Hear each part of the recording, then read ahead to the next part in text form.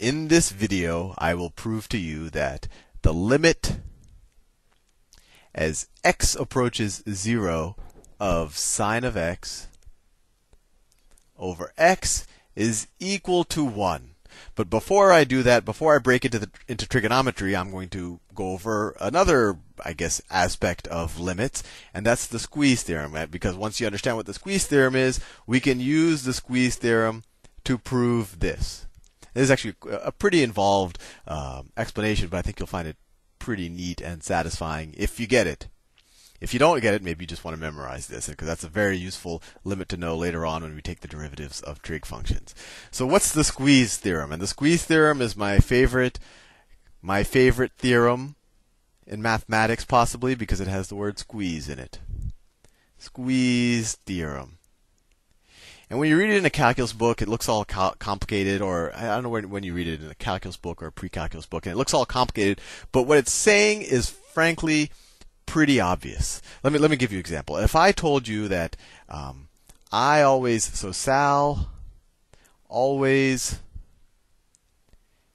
eats more than Umama. Umama is my wife. If I told you that this is true, Sal always eats more than Umama.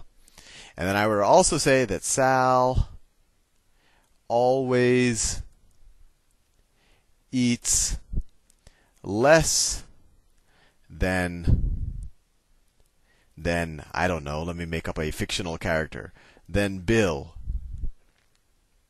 Right? So on, at any on any given day, let's say this in a, in a given day, Sal always eats less. Oh, sorry, Sal always eats more than Umama in a, in any given day, and Sal always eats less than Bill on any given day. Now, if I were to tell you that if on on Tuesday on Tuesday, Umama ate 300 calories. And on Tuesday, Bill ate 300 calories. So my question is to you is how many calories did Sal eat or did I eat on Tuesday?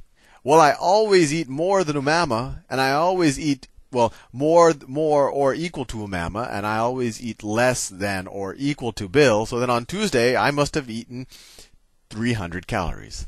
So this is the gist of the squeeze theorem, and now I'll do it a little bit more formally. But it's essentially saying if I'm always greater than than one thing, and I'm always less than another thing, and at some point those two things are equal, well then I must be equal to whatever those two things are equal. I've kind of been squeezed in between them, right? I'm always in between Umama and Bill, and if they're the exact same point on Tuesday, then I must be at that point as well, or at least I must approach it. So let me write it in, in math terms.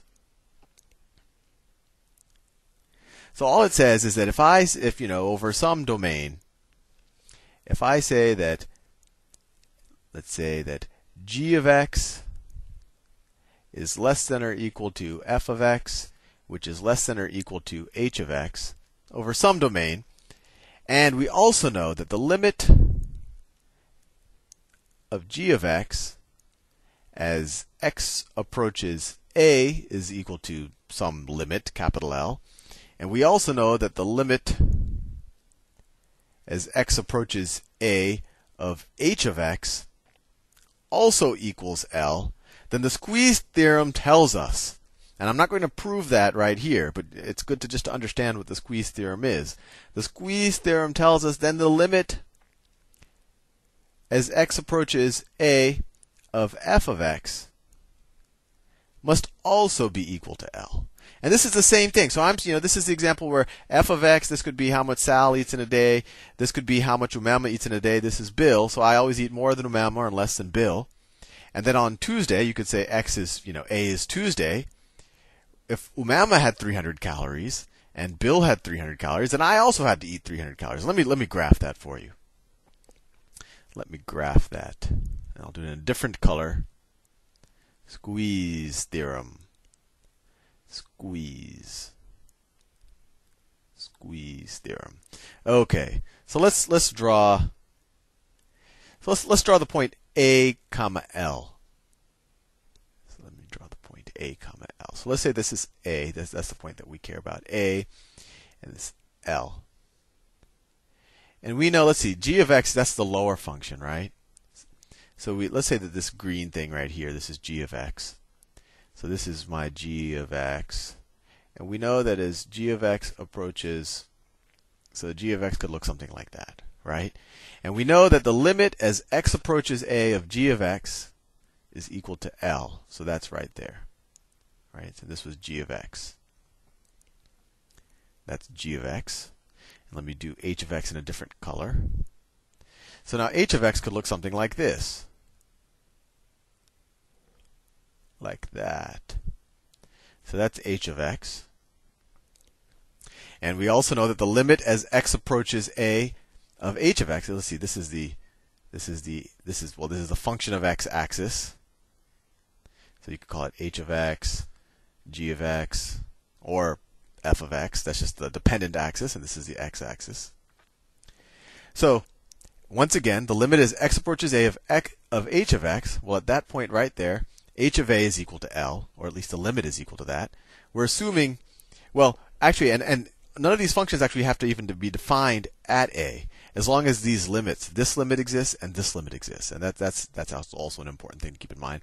So what what does this tell us? f of x is always greater than this green function. It's always less than h of x, right? So any f of x I draw, it would have to be in between them two, right? So no matter how I draw it, if I were to draw a function, I can make it go, but it's bounded by those two functions, right? Just by definition. So it has to go through that point, or at least it has to approach that point. Maybe it's not defined at that point, but the limit as we approach a of x of f of x also has to be at point L.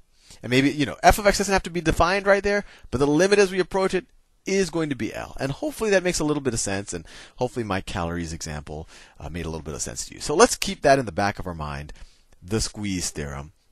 And now we will use that to prove that the that the limit that the limit as x approaches 0 of sine of x over x is equal to 1.